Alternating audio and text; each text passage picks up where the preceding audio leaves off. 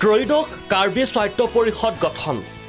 ডিফুত ছাব্বিছ নৱনিৰ্বাচিত সদস্যৰ শপত গ্ৰহণ। প্ৰতিজ্ঞা কৰি কওঁ যে মই আইনসংগতভাৱে স্থা- স্থাপিত ভাৰতীয় সংবিধানৰ প্ৰতি সত্যতা আৰু আনুগত্য স্বীকাৰ কৰিম। শ্ৰী মাধুৰ্য ঢেকিয়াল ফুকনে কাৰ্বি আংলং স্বায়ত্তশাসিত পৰিষদৰ নিৰ্বাচিত সদস্য হোৱাত ভগৱানক সাক্ষী ৰাখি প্ৰতিজ্ঞা কৰি কওঁ যে তুলিৰাম ৰংহাং পুনৰবাৰ মুখ্য কাৰ্যবাহী সদস্য।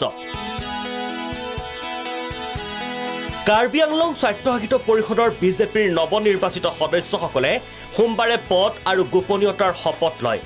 কাৰ্বি সাংস্কৃতিক প্ৰকল্পৰ ডিফুৰ তাৰালংচুত এক নৈসৰ্গিক পৰিৱেশত পৰিষদৰ মুঠ ছাব্বিছগৰাকী নৱনিৰ্বাচিত সদস্যই শপত গ্ৰহণ কৰে।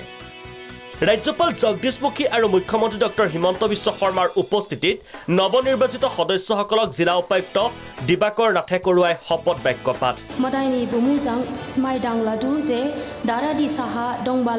আং ইণ্ডিয়ানি কনষ্টিটিউশ্যন খে ইয়াৱাই হি আনি খুচি হাবা ডাংমা ছাব্বিছগৰাকী নৱনিৰ্বাচিতৰ সদস্যৰ একৈছগৰাকীয়ে শপত লয় কাৰ বিভাষত কাৰ্বি ভাষাত Lunsing Teron, Karbi Anglong Autonomous Council, Inut Kang Vaitang Abangpu, Aphan ninga klongpen kroipon po lapen nilipan na paklempon toy arpu দুগৰাকীয়ে লয় অসমীয়া ভাষাত মই শ্ৰী মাধুৰ্য ঢেকিয়াল ফুকনে কাৰ্বি আংলং স্বায়ত্তশাসিত পৰিষদৰ নিৰ্বাচিত সদস্য হোৱাত ভগৱানক সাক্ষী ৰাখি প্ৰতিজ্ঞা কৰি কওঁ যে মই আইনসংগতভাৱে স্থাপিত ভাৰতীয় সংবিধানৰ প্ৰতি সত্যতা আৰু অনুগত্য স্বীকাৰ কৰিম আৰু মোৰ ওপৰত যি কৰ্তব্য ন্যস্ত কৰে তাক মই বিশ্বাস আৰু আস্থাৰে সৈতে পালন কৰিম।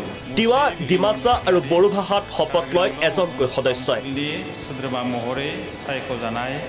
তুলিৰাম ৰংহাঙকে ধৰি একৈছগৰাকী সদস্যই শপত লয় কাৰ্বি ভাষাত। বোকাজান সমষ্টিৰ মাধুৰ্য ঢেকিয়াল ফুকন আৰু দেওপানী সমষ্টিৰ শ্ৰৱণ কুমাৰ তেলেংগাই লয় অসমীয়া ভাষাত শপত। লাংহীন সমষ্টিৰ বিলিমুখন খাকলাৰীয়ে বড়ো ভাষাত শপত লোৱাৰ বিপৰীতে ধনশিৰি সমষ্টিৰ তিলোত্তমা হাছানুৱে ডিমাচা ভাষাত আৰু আৰ্মি সমষ্টিৰ ডি উফিং মাছলাই তিৱা ভাষাত লয় শপত। প্ৰথমবাৰৰ বাবে কাৰ্বি আলঙত মহামান্য ৰাজ্যপাল মহোদয়ৰ উপস্থিতিত হোৱা এই শপত গ্ৰহণ অনুষ্ঠানে ৰাজনৈতিক সামাজিক আৰু ভৌগোলিক দিশৰ পৰা এক নতুন উচ্চতালৈ লৈ গ'ল বুলি অভিহিত কৰিব পাৰি।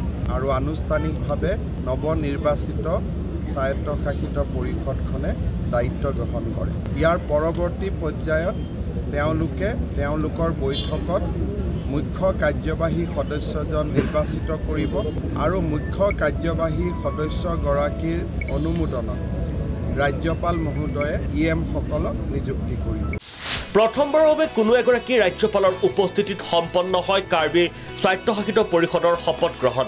এই শপত গ্ৰহণৰ পিছতেই নৱনিৰ্বাচিত সদস্যসকলে নিৰ্বাচন কৰিব নতুন মুখ্য কাৰ্যবাহী সদস্যগৰাকীক। অৱশ্যে মুখ্যমন্ত্ৰী ডক্টৰ হিমন্ত বিশ্ব শৰ্মাই ইতিমধ্যে তুলিৰাম ৰংহাঙেই মুখ্য কাৰ্যবাহী হ'ব বুলি ফলাফল ওলোৱাৰ দিনাই ঘোষণা কৰিছিল। উল্লেখ্য যে কাৰ্বি পাহাৰত বিজেপিয়ে এইবাৰ ক্ৰমাগত দ্বিতীয়বাৰৰ বাবে শাসনৰ গাদীত বহে। ডিফুৰ পৰা দীপেন বৰাৰ report Prag news. Indian constitution Affan নিং আকলং পেন ক্ৰয় পন প লাপেন তেৰম কাৰ্বি আংলং অট'নমাছ কাউঞ্চিল ইনুট কাং বাইটাং বাংফু